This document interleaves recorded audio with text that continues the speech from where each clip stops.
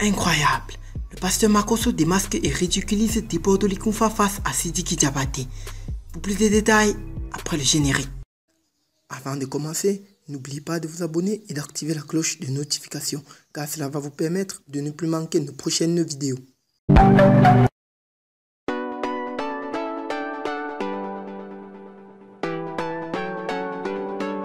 Le général Makoso avait annoncé de dire ses vérités sur l'affaire de clash entre Debodo Likunfa et Sidiki Diabaté.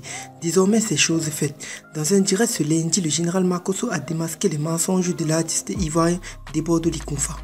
Bien vrai, il était en discordance avec ce dernier, mais cette vidéo était juste pour souder deux nations, a-t-il déclaré.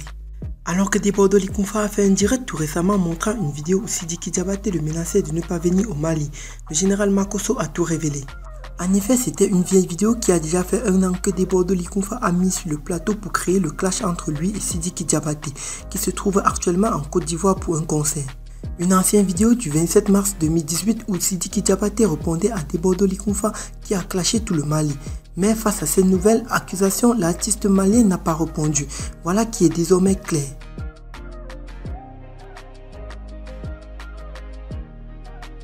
Tiesco prend la défense de Tina Glamour et recadre Debodo Likunfa. La Côte d'Ivoire assiste depuis à un moment de feuilleton dont Debodo Likunfa, Tina Glamour et Tiesco le Sultan et bien d'autres sont les acteurs. Et tout ceci dû au décès tragique de Didier Arafat.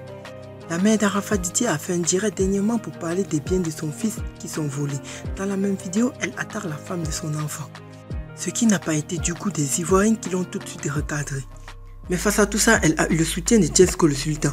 Pour lui, une mère reste une mère malgré tout. Dans cette vidéo, ce dernier a dit un peu de ce qu'il pense sur le sujet.